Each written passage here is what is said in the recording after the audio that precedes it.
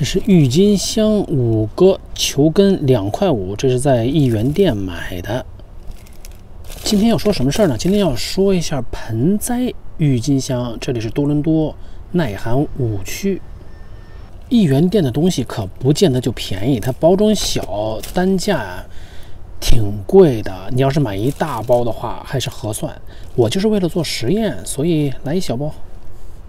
另外，一元店还有一个问题，就是它的质量啊其实不太和那些大包装的比较起来稍微差一点儿。再一个呢，我这买了有两个星期了吧，没种。那么多伦多地区秋天，现在是十月中旬，秋天温度啊，温度低，然后湿度高，经常下雨，所以它容易坏，容易烂，要特别小心。准备种在什么盆子里呢？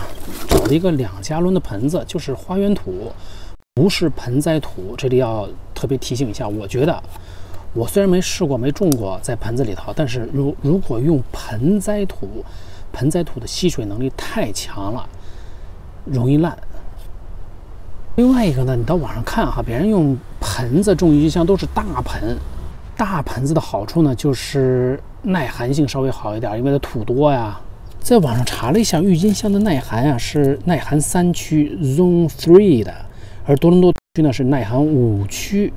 通常情况下，一个植物如果盆栽它要降一个区，它的耐寒程度呀要提一个区。比如说，这是耐寒三区的植物，种到盆里头，它的耐寒性就提高到耐寒四区，这是通常的经验。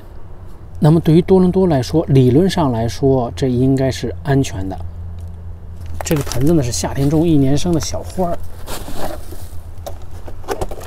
这个土还可以继续利用。你看看，都是都是挺好的土，而且盆里头你看没有？这两天下雨，盆里头啊还是干的。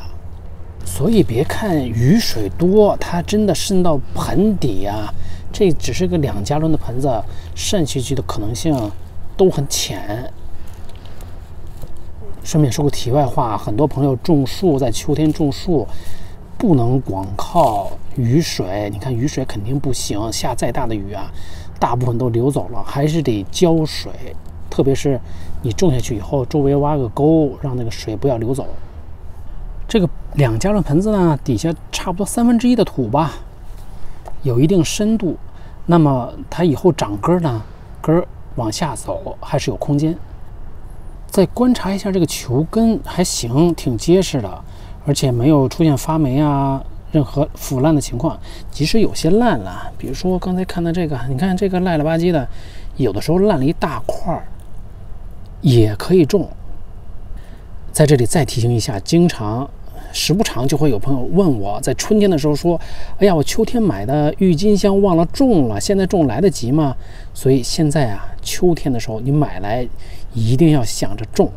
这个视频除了考验它的耐寒，作为一个实验以外，第二个目的就是想试一下我大头朝下，它的根朝上会怎么样？种在盆子里呢，可以检验来年春天等它发芽或者开花的时候。我把它倒出来就可以知道了。我把它都大头朝下，因为这个盆子啊，还是考虑耐寒的情况呢。我尽量种在盆子中心，都让它所有的都大头朝下。它可能会花更多的能量来反过来，来修正我的错误。这还有一个 gift。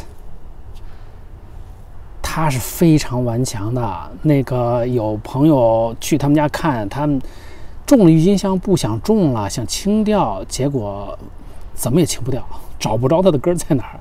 你把地面的叶子砍掉，第二年还会出来。